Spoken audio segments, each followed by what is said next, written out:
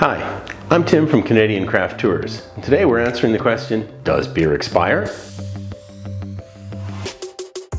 The answer is yes, it does, but not quite in the way other foods expire. It won't grow mold or get lumps or something like that. Modern beer mostly just goes stale on us. Now this wasn't always true historically, and in fact we can observe this in the historical record. Pubs in England used to put out what they called an ale stake. It was generally a branch with some leaves on the end, or it could be a pole with a flag. But it was a signal to the neighborhood that the pub had made fresh beer and it was ready to be drank. The reason why it was so important as a signal is because the beer itself would stale and spoil within about three to six days. The reason being, beer at the time did not have hops in it. Up until the mid 1500s, hops in beer were uncommon. But when they started adding them to flavor the beer, they discovered a secondary effect. Hops have a strong antimicrobial presence. That is, they suppress spoilage organisms that might make the beer go sour. The more hops you add, the more effect this has. Suddenly, you didn't have to drink up all of the beer within a week before it spoiled. It would last longer and longer. At this point, you could store beer. Fast forward to the 1830s, Dr. Louis Pasteur, germ theory, and the discovery of the role of yeast in fermentation. Seriously, we didn't know what it did before then. We didn't really know how it acted. And suddenly you have a regimen where sanitation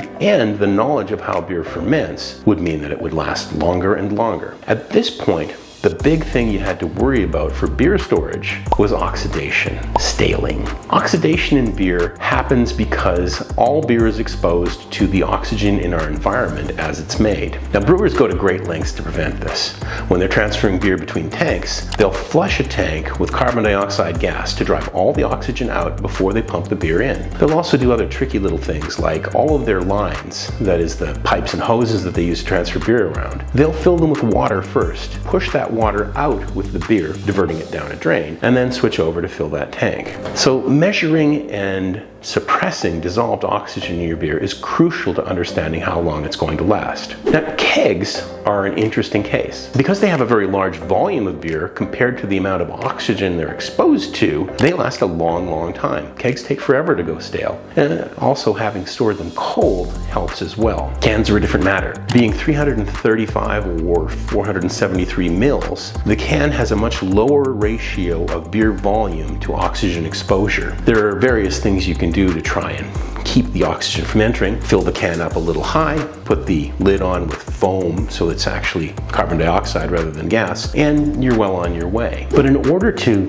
measure and understand the rate of aging and staling in beer, cans have a little trick. Flip them upside down and you'll see that there's a date code printed on the bottom. By using this date code, brewers can understand how long their beer is lasting on the shelves and make sure that it stays fresh for you. Now, what's the solution if you're concerned about beer staling? Well, it's to go to your local craft brewery in person and drink up their beer. Enjoy it while it's fresh and tasty and support your local craft. Seems like a win-win to me. I'm Tim from Canadian Craft Tours and if you've enjoyed these videos, please go ahead and pop the tab on this can and click like and subscribe. Ding that little bell for us. Thanks.